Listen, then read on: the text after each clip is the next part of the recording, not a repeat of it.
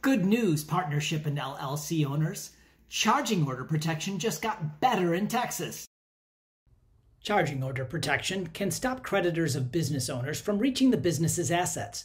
For example, if you are sued for causing a car crash, charging order protection may keep the plaintiff from reaching your business assets. The plaintiff can only seize distributions the business makes to you. Texas provides this protection to LLCs and partnerships. Responding to a court ruling that limited charging order protection, the Texas legislature has expanded that protection. In September 2023, Texas joined a small group of states that provide charging order protection to single member LLCs. The other states are Alaska, Delaware, South Dakota, Nevada, and Wyoming.